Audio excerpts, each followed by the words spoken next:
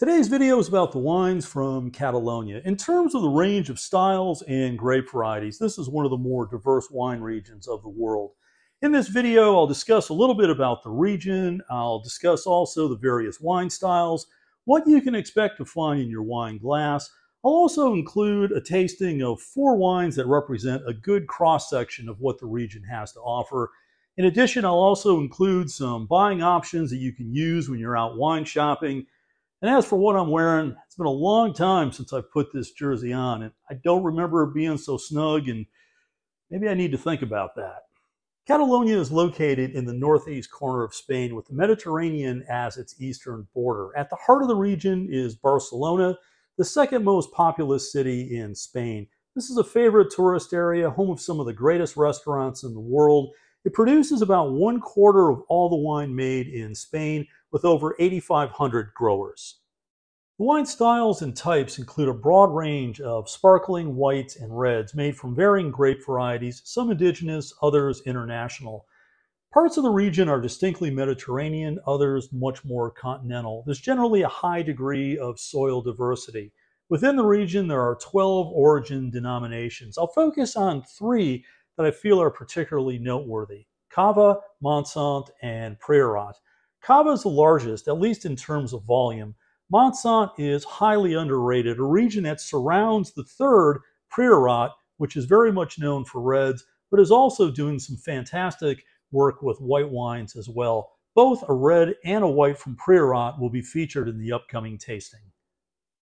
The wine producer with the broadest international reach and one of the world's great wine families is Torres. Miguel Torres Jr. has been a long-time friend of mine. I visited this property a few times over the years, and it's one source from the region that covers essentially all the bases. It also has very good international distribution. In recent years, they've been instrumental in the work on reviving ancestral grape varieties like Forcada, which is currently made in just a few hundred cases per year, but with plans for expansion. At this point, let's get into the tasting. This will be a bit of a deep dive. There are four wines, one cava, one white, and two reds that are made primarily from the same grape variety, but stylistically very different from one another. Before jumping into the tasting, just a brief word on cava. About half of the wine coming out of Catalonia is dedicated to cava. Unlike Champagne and unlike the various Crémants within France that have very specific designated areas, Cava can actually come from a number of different places in Spain, although the majority is sourced from Catalonia.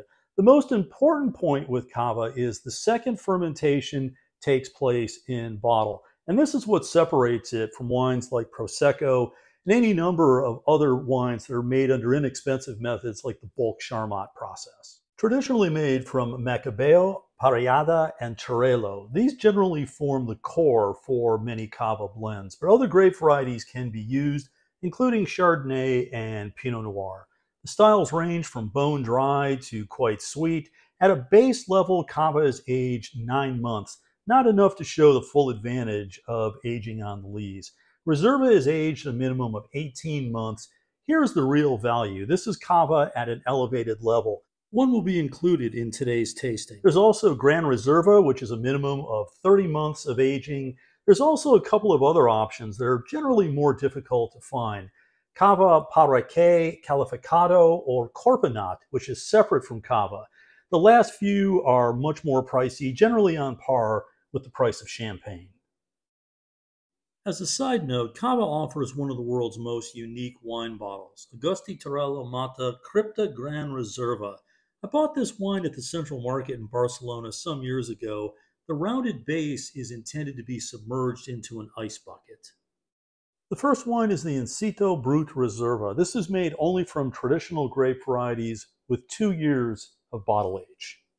For me, typically when I drink sparkling wine, I like to use just a, a standard wine glass. I know a good number of you may like to use these flutes. Uh, you know, it's really your personal choice. But for me, there's a, a benefit in using this type of glass. Uh, there's much more aromatics. And I know sometimes people will say, well, the wine will go flat quick. Well, if you're drinking a decent glass of sparkling, I don't think it's going to be in that glass all that long. So for me, this is really the way to go for most sparkling wine. In terms of the appearance, uh, This wine has a nice, steady bead to it. The mousse is very good, and, and that's an indicator of what you find with that second fermentation in bottle. Aromatics smells uh, somewhat like uh, lemon curd, and it also has that autolytic note to it, a little bit like bread dough, a little bit like brioche, uh, a bit like almonds as well. All characteristics that you'll find with wines that do have some time aged on the lees. On the palate, wine's very nice. It's bright, fresh, clean. There's a zestiness to it. There's a vibrancy as well. This is a very well-made cava, and this is a big step up on the base level of cava for, for only a few more dollars. So Reserva is definitely the way to go. Absolutely check this out. This is one of the better values that you'll find in sparkling wine. 2021 Scala Dei Priorat. When I saw this, I just had to pick it up. This is actually something that's growing in popularity in that region. And there's all sorts of different versions. You'll find some that have no oak. There are some that are oaked. Others with extended skin contact. So the uh, the styles can vary. Grape varieties can also vary considerably as well. This one is made all from Garnacha Blanca serious wow factor on the aromatics. I mean, extremely pronounced, uh, very nuanced, very good intensity in terms of the aromatics. Uh, it has a bit of a, a, peachy stone fruit character to it. If you're a fan of some of the Rhone wine, uh, white wines from the Rhone, this would also be an extremely good candidate. It has a lot of that sort of characteristic to it. On the palate, there's very good weight. I see by the back label, it shows 13.5 alcohol. Uh, the acidity on this is not very high. I'd say more mid-weight, but it has volume. There's substance and weight on the palate. I had high expectations coming in on this wine, and it absolutely surpassed that expectation. This is a fantastic bottle of wine. Uh, my recommendation is don't get this too cold. I think if it's closer to room temp or just a few degrees below, you're going to be just fine. You want to get the full range of the aromatics, and getting the wine too cold is just going to mute that. This is an absolute beauty. If you're looking for something a little bit different, definitely search this out. 2020 Pallas from Montsant. The third wine from Montsant has a close relation to Priorat. It's actually an area that surrounds the region of Priorat. Generally speaking, the wines from Montsant are a little fresher, brighter, but oftentimes they're a, a similar blend, oftentimes with Garnacha and Carigna being main grape varieties Oftentimes, some international grape varieties will also take place as well. Uh, in this case, uh, the wine is 35% from Garnacha, 35% Carigna, and 15% each of Syrah and Cabernet Sauvignon. So I've had a good number of wines from this area, but I've not had this specific wine. Uh, medium deep color density. This is a, a recent vintage, so uh, you know, it, it's going to have that youthful appearance. Alcohol level of 14.5, which is quite typical from this region. Aromatics have a good deal of that, that spicy red fruit character, a bit uh, savory. Uh, this actually smells a little bit like coffee grounds. Yeah, good intensity. The fruit character is very ripe, uh, very pretty aromatics. On the palate, there's very good structure on the wine. Uh, even though the alcohol level is 14.5, there's no heat to it. It doesn't feel like it's overripe. It's not jammy. Uh, the balance with the acidity is very good, and that's what keeps everything in check. I've got to say, the wine is rather tight. Uh, you can tell it's, it's very youthful, but it's balanced well. It's put together very well. And you notice I just popped the cork on this wine. I believe with a little bit of time, this wine will bloom and the aromatics will come out and the wine will soften a bit more. But a very pretty bottle of wine. In many cases, the wines from Montsant will be quite a bit less expensive than Priorat.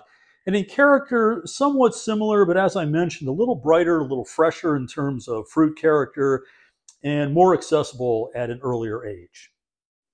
2018 Martinet Bru from Priorat. And this fourth and final wine is one that I absolutely love. I've had their wines many times over the years. I think this is one of the top producers from Priorat. This wine is made from Garnacha, Carigna, along with Merlot and Cabernet Sauvignon. And good density of color. The color extends out to the rim of the glass. And this is what's expected with a Priorat that is rather youthful. Aromatics are sensational. It's like it just grabs your nose and pulls it into the glass. There, there's an intensity there. There's a red, ripe fruit character to it, spicy, savory. Uh, it has a bit of an exotic character to it. It reminds me a little bit of, of some of the uh, Asian five spice. This is really a fantastic aroma. On the palate, there's some serious heft here. I mean, this is not a wine for the timid. Back label shows an alcohol level of 14.5, but this is definitely a weighty, dense style of red. Uh, but it's all in balance. Everything really comes together very well. You can tell the raw material with the fruit is very good, and there's definitely a skilled hand in the winemaking. Uh, this is just a rock star. I'm definitely going to be drinking this a little later tonight. Absolutely beautiful bottle of wine.